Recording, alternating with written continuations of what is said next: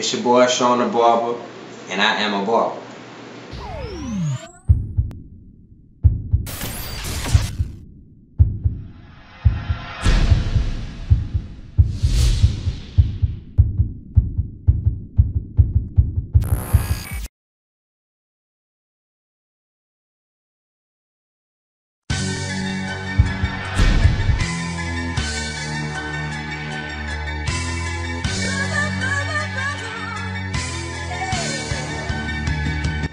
So what made you want to be a barber? Shit, I didn't want to be. Nigga just didn't cut my hair low enough, and I knew mom was gonna make a nigga go back in that shop. She had some clippers in the bathroom in Valley. Shit, I just knocked my own shit down. Next day, I pieced up a nigga to uh, to cut a nigga hair for like ten dollars. Me and the other nigga, he cut one side, I cut the other side.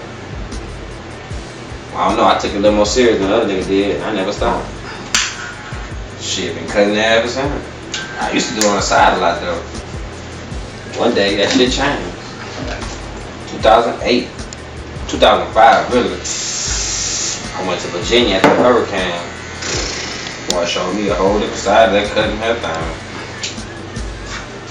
But I still ain't had no license though. So, education pays. So what what makes a good barber?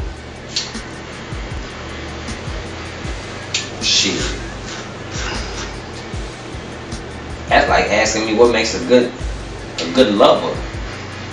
You either got it or you don't. You're only as good as the people you cut. Basically. And what that mean? You only good as people you cut. You are a reflection of your clients. Your clients is a reflection of your personality. So the kind of clients you attract is the kind of person that they think you are. So you got a bunch of ratchet niggas, they might think you a ratchet nigga. You got a bunch of pussy niggas, they might think you a pussy nigga. You cut a bunch of gay people. I cut broad horizon. I don't know. I, I don't really do designs and all that. I I'm not that I'm not that kind of barber. You know that theatrical barber, whatever, extravagant barber. I'm that everyday barber. Weddings, funerals, judges, everything. I'm the one, the nigga that get your shit right. I'm the nigga that restore your shit. I'm about to start working for Boston, nigga. There you go. Start giving niggas head back instead of cutting niggas shit out. Uh. I mean, shit, I cut everywhere, man. I did get arrogant whenever uh I got I got the license. I ain't gonna lie, kind of went to my head. But can you blame me though? I been cutting hair five, four dollars, and then give me a dime sack, give me a sleep here, give me a ride here, get some pussy. Man, what? I got that license. That solidified it. That let me know it's real. Then I learned more stuff while I was in school. It's not even. It's bigger than just cutting a nigga. It's it's way deeper than just cutting hair. Nigga think they will come in that shop and cut hair. You can, as long as I'm not there. So do you feel like you one of the best barbers in the Lake Charles area? Nah. They got like, I know for sure two of them better than me. And nigga named Cora, and nigga named Lil Reggie.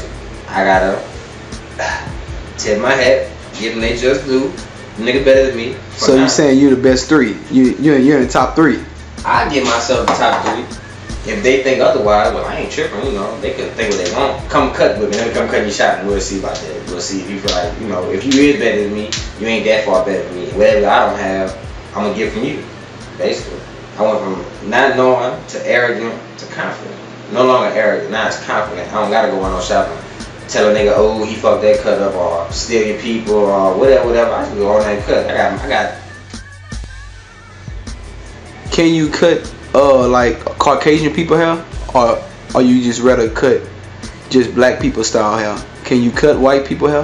That's kind of why I'm in the shop. I cut white people hair, Asians, Jamaican, Puerto Ricans. I got some Mexicans with the thick ass that do eyebrows too. I do the I do the 90 degree cut on the women.